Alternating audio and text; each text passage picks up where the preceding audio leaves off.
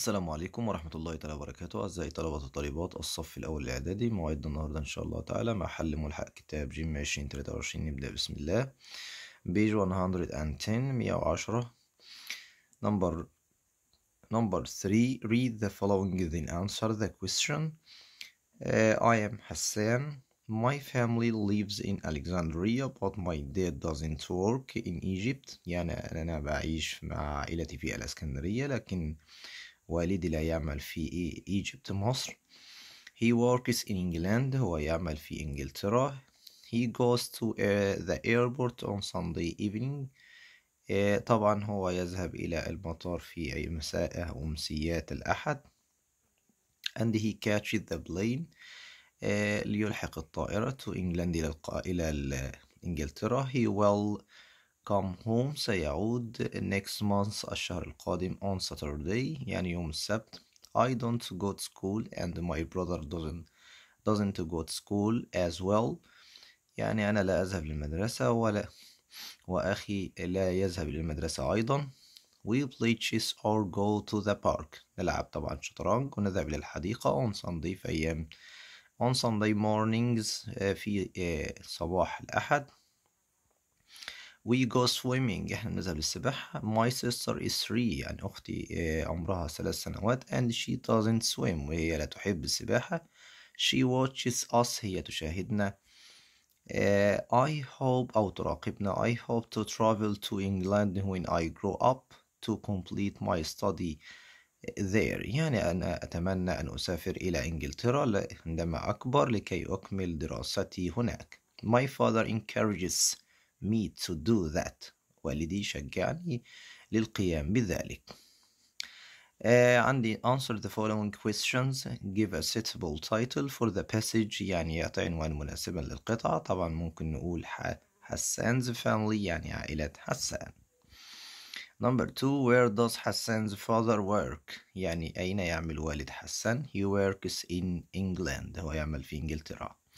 من القطع طبعا هو بيقول لك إن هو Uh, but my dad doesn't work in, in Egypt, he works in England. Number three, why do you think Hassan's father encourages him to travel to England? لماذا تعتقد أن والد حسان بيشجع السفر إلى طبعا إنجلترا هو طبعا هنا بيقول له complete to complete my study there يعني إن هو عايز يكمل دراسته هناك يبقى to complete his studies there لكي يكمل دراسته هناك. Number B, choose the correct answer from A, B, C, or D. Number one, the underlined pronoun she refers to يعني الضمير اللي تحته خط بيشير إلى حسان's sister يعني أخت حسان من القطعة طبعا. عندي الضمير she اللي هي طبعا my sister is three and she doesn't uh, swim يعني هي طبعا لا تحب السباحة والضمير طبعا شي بيعود على مين حسان's sister Number five the underline word complete means space. يعني عندي كلمة complete اللي هي طبعا بإن هو بيكمل يعني عشان ينهي. uh, means بتعني طبعا uh, finish إن هو بينهي يعني بيكمل يعني بينهي حاجة بيكملها يعني بينهيها. عندي number 6 when uh, do they go to the park اللي هم طبعا ذهبوا للحديقة أو سوري متى ذهبوا للحديقة؟ هو طبعا في أيام السبت on Saturday. Number 4 choose the correct answer from A, B, C or D. Number 1 your aunt and uncle's child يعني طفل أو ابن عمتك أو ابن عمك. بيكون ليك طبعا your cousins يعني ابن عمك أو ابن عمتك يبقى هنا cousin.